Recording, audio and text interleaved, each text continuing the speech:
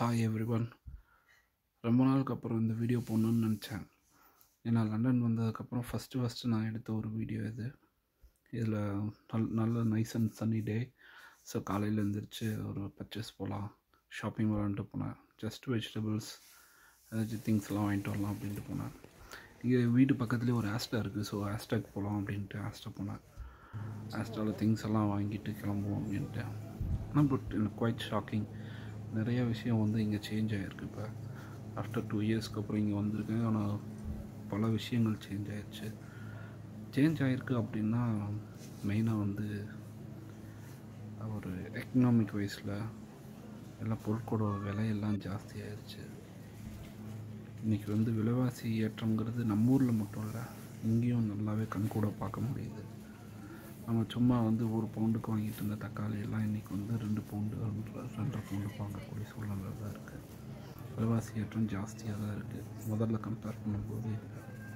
ஆனால் இங்கே என்னென்னா ஒரு பெனிஃபிட் அப்படின்னா இப்போ பார்த்தீங்க முதல்ல எல்லாம் அவ்வளோ சீக்கிரம் எல்லா இடத்துலையும் எல்லா பொருளும் கிடைக்காது. இன்றைக்கி இன்றைக்கி எல்லா இடத்துலையும் எல்லா பொருளும் கிடைக்குது. ஸோ இப்போ நம்ம பக்கத்தில் இருக்க கடல்லையே பச்சை மிளகா கொத்தமத்தலை மல்லி இலை இது எல்லாமே கிடைக்குது. ஸோ இன்றைக்கி ஒரு சின்ன பர்ச்சேஸ் போடுவோம் சமைக்கிறதுங்கிறத வாங்கலாம் அப்படின்ட்டு. பார்ப்போம் முடிஞ்ச அளவுக்கு நெக்ஸ்ட் வீடியோஸில் சமைக்கிற வீடியோஸ் அது எல்லாமே கூட இந்த உங்களுக்கு இன்ட்ரடியூஸ் பண்ணலாம் அப்படின்ட்டு இருக்கேன். சின்ன சின்னதாக சமைக்கிற வீடியோஸும் போடலாம். இங்கே இன்றைக்கி என்னென்ன திங்ஸ் எல்லாம் நம்ம எடுக்கலாம் அப்படின்னு பார்க்குறேன். சும்மா ஒரு பேக்கெட்டு கொத்தமல்லி ஒரு ஒரு கற்று எடுத்தேன். அப்புறம் வந்து வெங்காயம் ஒரு தக்காளி இது மூணு எடுத்திருக்கேன். எடுத்துகிட்டு அப்படியே போயிட்டுருக்கேன். பார்ப்போம் வேறு ஏதாச்சும் எடுக்கணும் தேவைப்படுதா அப்படின்னு பார்த்துட்டு அப்படியே எடுக்கலாம் அப்படின்ட்டு இருக்கேன். வாங்க போகலாம்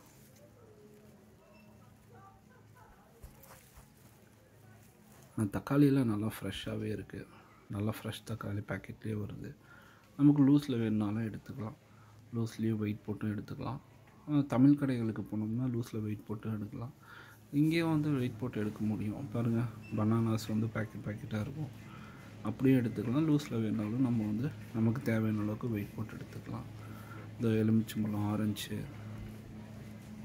ஆரஞ்சுலேயே நிறைய வெரைட்டிஸ் ஆஃப் ஆரஞ்சஸ் இருக்குது அப்புறம் வந்து கொஞ்சம் நம்ம சில்டு வைக்கக்கூடிய வெஜிடபிள்ஸ்லாம் அதில் தனியாக இருக்குது சிக்கன் பேக்கெட்ஸு சிக்கன் வந்து mostly two fifty gram five hundred grams இருக்கும். சில பெரிய பேக்கெட்ஸில் ஒரு கிலோ பேக்கெட் இருக்கும் நான் ஒரு சின்ன பேக்கெட் ஒன்று எடுத்தேன். அங்கே ஒரு பியூட்டி என்னென்னா எல்லாம் ப்ரெஸ் பீஸு எல்லாம் தனித்தனியாக வச்சுருப்பாங்க. எனக்கு கொஞ்சம் போன்லெஸ்ஸாக இருந்தால் ஓகே அப்படின்னா போன்லெஸ் பீஸ் ஒரு பேக்கெட் ஒன்று எடுத்தேன். பெரிய பெரிய பேக்கெட்டும் இருக்குது நமக்கு வேணுங்கிறது சூஸ் பண்ணி எடுத்துக்கலாம். பட் ஆனால் எல்லாம் தனித்தனியாகவும் கிடைக்கும் ஈஸியாக இருக்கும். இதே நம்ம தமிழ் கடைகளில் வேறு கடைகளுக்கு போனோம்னா ஃப்ரெஷ்ஷாக கட் பண்ணி கூட வாங்கிட்டு வரலாம். ஏன்னா தமிழ் கடைகளில் வந்து உங்களுக்கு ஃப்ரெஷ்ஷாக அப்படியே முடிச்சிக்கன்னா வந்து கட் பண்ணி கொடுப்பாங்க. நமக்கு வேணுங்கிற அளவுக்கு அங்கேயே பீஸ் போட்டு வாங்கிட்டு வந்துக்கலாம். இங்கே வந்து பொதுவாக நம்ம தான் இதை வா எடுத்துகிட்டு போய் கட் பண்ணணும். ஸோ அதனால் ஒரு பேக்கெட் எடுத்துக்கலாம் போதும். அப்புறமாட்டு மறுபடியும் கொண்டு போய் கூட பார்த்து எடுத்துக்கலான்ட்டு ஒரே ஒரு பேக்கெட் எடுத்தேன். பார்ப்போம் வாங்க. வேறு ஏதாச்சும் எடுக்கணும்? தேவைன்னு பார்த்துட்டு எடுக்கலான்ட்டு. ஆனால் நான் சொன்ன மாதிரி முதல்ல இருந்ததுக்கு விலைவாசி ஏற்றம் தான் ஃபுல் சிக்கன் பார்த்துருங்கள நான் கார்ட்டனில் ஃபுல் சிக்கன் எடுத்தேன். அதே மாதிரி பால் ரெண்டு ரெண்டு பா ரெண்டு பாட்டில் பால் எடுத்தேன். ஸோ ரெண்டு கேன் பால். அதில் ப்ளூ ஒயிட் இங்கே ப்ளூ இருக்குது blue full skim full fat பால். அதே மாதிரி கொஞ்சம் ஸ்கிம் பண்ண பாலும் இருக்குது அப்புறம் க்ரீன் பால் அதுவும் ஒன்று இருக்குது எது வேணால் நம்ம எடுத்துக்கலாம். நான் பொதுவாக ப்ளூ தான் யூஸ் பண்ணுறது ஏன்னா காஃபிக்கெல்லாம் நமக்கு வந்து நம்ம ஊரில் ப்ரூ காஃபி குடிச்சு குடிச்சு பழகிட்டங்காட்டி அதனால் ப்ளூ மில்க் போட்டு பால் குடி காஃபி குடித்தா தான் நல்லா டேஸ்ட்டாக இருக்குன்ட்டு ப்ளூ மில்க் தான் போஸ்பாக நான் யூஸ் பண்ணுறேன் பாருங்க சாக்லேட்ஸு ஆனால் யூகே வந்ததுக்கப்புறம் தான் நான் நிறைய சாக்லேட் சாப்பிட்டே பழகினு தான் பார்த்துக்குங்களேன். அதுக்கு முன்னாடி நான் பெருதாக சாக்லேட் பிரியம் கிடையாது. எப்போயாவது ஒரு நாளைக்கு ஒரு சாக்லேட் ரெண்டு சாக்லேட் சாப்பிடுவேன். ஆனால் இங்கே வந்ததுக்கப்புறம் அப்பப்போ சாக்லேட் சாப்பிட்டு சாப்பிட்டு சாக்லேட் ஆகி போச்சு.